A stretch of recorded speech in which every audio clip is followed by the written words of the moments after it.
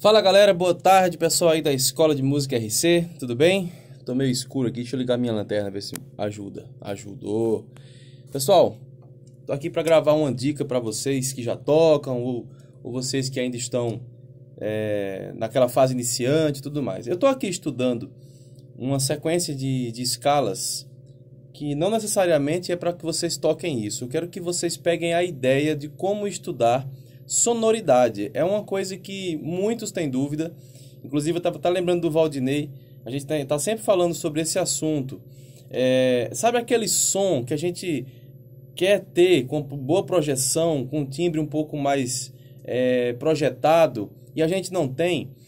Isso vai muito da forma como a gente estuda. A gente acaba criando um vício de estudo e a gente vai aplica aquele vício de estudo na música. E como que eu estou estudando isso aqui? Veja, não importa o que eu vou fazer aqui, certo? O que importa é que o som que eu estou colocando para fora é um som projetado. Para isso, eu preciso, lógico, ter uma boa respiração. Para você que não sabe sobre respiração, me pergunte aí depois no privado. Se você faz o curso técnico, tem aula de respiração no curso técnico. Se você estuda comigo via Skype, a gente vai tirar essa dúvida sobre isso. Então você tem que colocar a sua respiração para fora e no estudo, durante o estudo, é, você não pode soprar baixinho, a não ser que o estudo seja para melhorar essa questão. Mas se você quer abrir o seu som, quer projetar o seu som, você tem que tocar forte. Então veja bem, para o vídeo não ficar tão longo, isso que eu vou tocar aqui, para mim, veja, para mim, é difícil. Eu estou tentando memorizar. Isso tudo está escrito ali no método, mas eu estou querendo fazer de cabeça. Então, para mim, fazer de cabeça fica difícil. Isso é importante porque quando a gente está diante de uma dificuldade, a gente tende a tocar com um pouco mais de timidez. E essa timidez precisa sair nesse momento, tá? Então, toca algo difícil, mas toca forte. Por quê? Você vai começar a acostumar essa questão, tá? Então eu vou tocar aqui de uma forma que não seria fácil, é, não seria correta, que seria mais ou menos assim.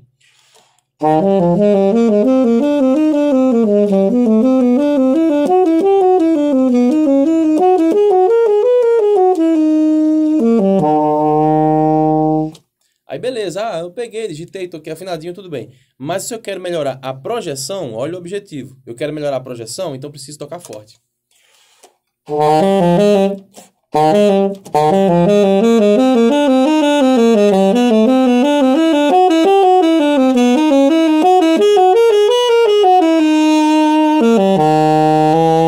Próximo.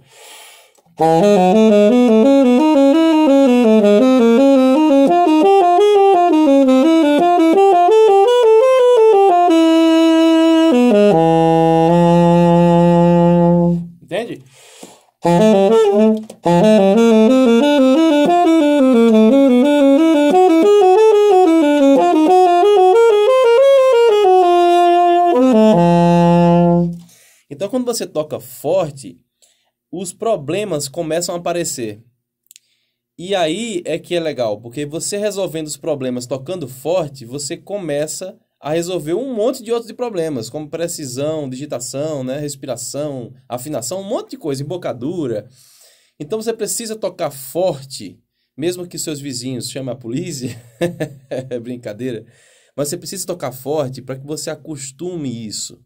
Se você não tiver esse costume, você vai se cansar, você não vai ter uma boa projeção, tá? Essa é uma dica para você aí. Um abraço.